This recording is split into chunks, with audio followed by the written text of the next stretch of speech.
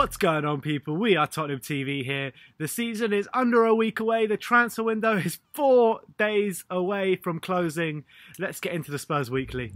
Well, we'll start off with our performance yesterday against Girona in Barcelona, our final Hmm. friendly of the pre-season. It finished Girona 4, Spurs 1, and in reality, an actual battering. Yeah, it really was. Uh, kind of flattered us going 1 0 up at the start. Great free kick from Lucas. Mm-hmm.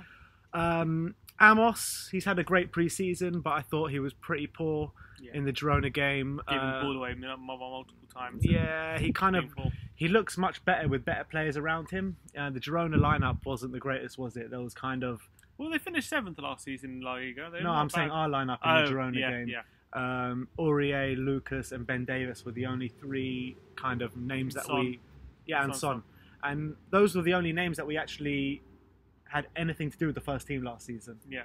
So you know, Can't take I'm- too much away from it. exactly. But in reality, though, they ran rings around us. It was a, it was a bit embarrassing how easy it was for Girona. They were like playing really nice football, and we made it easy for them. So To be honest, we started off the game quite well. Just we just faltered just after about five ten minutes. Yeah, once they equalised. Even before that, actually, I felt they had chances, to be fair. So, well done, Girona. Not a great end to pre-season, but hopefully it won't bowl too much going into the Newcastle game. Yeah, but I thought it was a kind of good preseason all in all. Just that Yeah. game kind of. US tour was pretty successful, yeah. but this is a bad ending. Let's move on to Toby Alderweireld. So, rumours circulating as of today that Toby Alderweireld has agreed a 60 million pound move to Manchester United. No Martial return. Uh, no Martial return. Although, although saying that, there has been some breaking news within the last half an hour that Man United have turned their attention to Harry Maguire as opposed to Toby Alderweireld. So that could be good news. However, most uh, a lot of news outlets are reporting that Spurs have uh, agreed have lowered their 70 million price tag, agreed a 60 million for Toby. And if that is true, that's really disappointing, and it really shows a lack of ambition, just where the club is going, in my opinion. It's what you call Levy ball. Well, you, there are people arguing, you know, if Toby wants to leave, just get the best price for him and you know have at it. But I don't know. I feel like I feel like strengthening another rival, the second Yet consecutive again, exactly yet second again. consecutive window. You know, Man United wouldn't do that. They'll just if, if look at Martial, they're not willing to deal with us. What with happened? What happened to Levy saying after we sold Berbatov to uh, United? We're never going to deal with Man United again. Let's hope it bolds true because at the moment it looks like Toby could be on his way there. And, you know, Mar- United would rather let Martial rot in their reserves than sell him to Spurs. Exactly. Why aren't we doing the same? You know? And I think Toby's professional enough to, you know, put his head down and give his all for Spurs. I don't think he's that kind of player who would down tools and uh, mope around, you know, because he knows that, given his injury record, that he needs to be playing, he needs to be playing well if he's going to get a big move. So I I, don't- think it's a cle- I don't think it's clever for Spurs to um, you know, go. You, we can get 25 million from next time. What's the, in this market? What's the difference anyway? Hardly anything. I agree with you. I, I'd say if he wants to, if he wants to go, let him go. But nowhere, no way is he allowed to go to anywhere in the Premier League. That is I'd just rather a send him for half that and go to 100%. go, go abroad than send him Definitely, 60 million. definitely. It's- And like in this, in sorry, in this current market, 60 million, like it's it's a good deal, but like it's like it's there are better deals out there. It's not great. Like what that, can but 60 have- million get you in this We've market? never even spent anything. sixty million. I know, but 60 million can barely get you anything. Like Mm. just about gets you Mahrez. Yeah. and it's a good. He's a good player, but like, if sixty million is not what it used to. Is my my point. But going on to that, looking at our centre mid options, Lewis Cook. Lewis Cook. Yeah. Uh, he's the one who's been most prevalently linked to Spurs at the moment. Um, I actually quite like Lewis Cook. I think he's a good little player. You there. put up a clip on Twitter this week of, of when we were in Madrid, Yeah. and we just played Bournemouth, didn't we? hmm And you were saying how much you like the look of him. Mm. I think when Spurs played with Wembley, I thought he actually looked pretty good.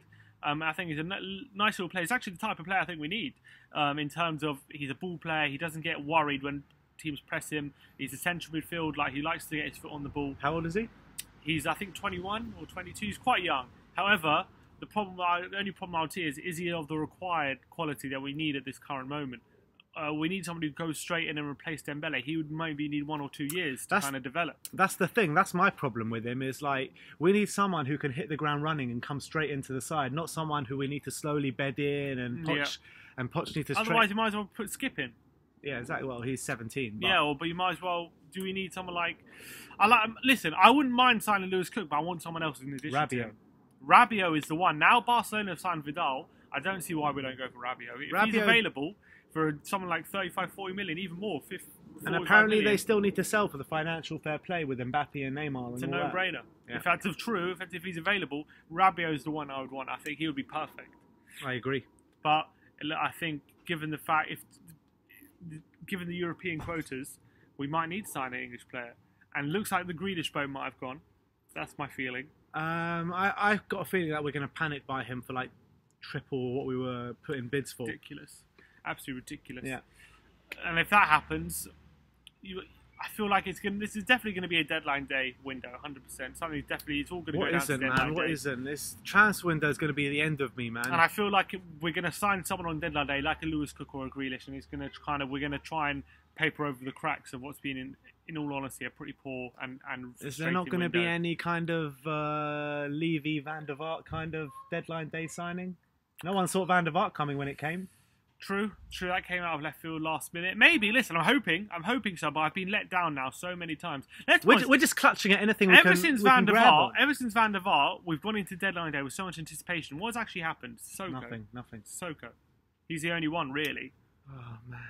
He's kind of give, got a reputation for being this deadline, deadline day wheelie dealer, but since Van der Vaart, I can't think, except for, and Sissoko, which was a bad deal at, the end. Nah, but do, do you think the reputation was more Levy or Redknapp? Levy. Do you think so? I know Levy was the one that made the Van der Vaart decision, but Redknapp was the the one Wheeler with the dealer. whole wheeler dealer. Yeah, no, fine. But I'm talking, talking, talking about deadline day signings. I think Mm. that Levy's always had this reputation of being this guy who gets a bargain late on. Yeah. Um, and I can't, I haven't seen that really it's happened once. Yeah. Can you remember any others? Yeah, well, yeah. Got Ryan Nelsen on free. Ryan Nelsen. Great. I can't, I can't think of any off the top. of my Ryan. Nelsen, Louis Uh, Saha. Clint Dempsey, maybe we got. what about Fraizer day? Campbell? That was Clint- deadline day, wasn't it? Yeah, so got rid of Berbatov, got Fraizer Campbell. What Ah. a great deal that was.